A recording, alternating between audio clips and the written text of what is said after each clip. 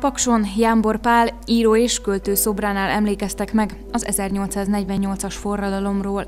Süli János, a Paksi atomerőmű bővítéséért felelős tárca nélküli miniszter, Tolna megye hármas számú választókerületének országgyűlési képviselője is lerúgta tiszteletét, majd az ezt követő televíziós beszélgetésben mond párhuzamot a jelenkor és a 173 évvel ezelőtti események között.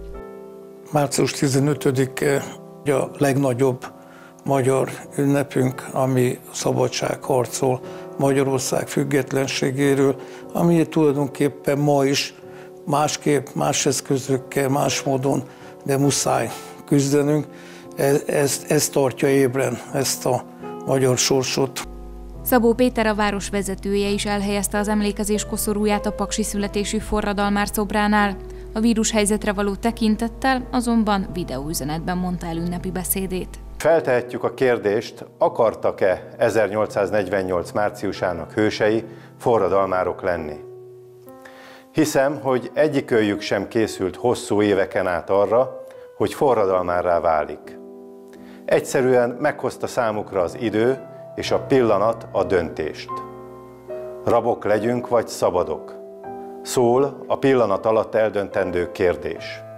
Igen, ők a márciusi ifjak talán néhány pillanat alatt megértették, hogy most rajtuk a sor.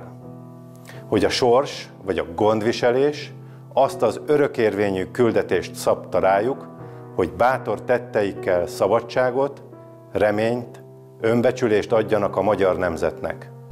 A polgármester szerint ilyen forradalmat vívunk most is a koronavírus járványjal szemben. Egymásra odafigyelve küzdünk egymásért, egészségünkért, normális és biztonságos emberi életünk visszaszerzéséért.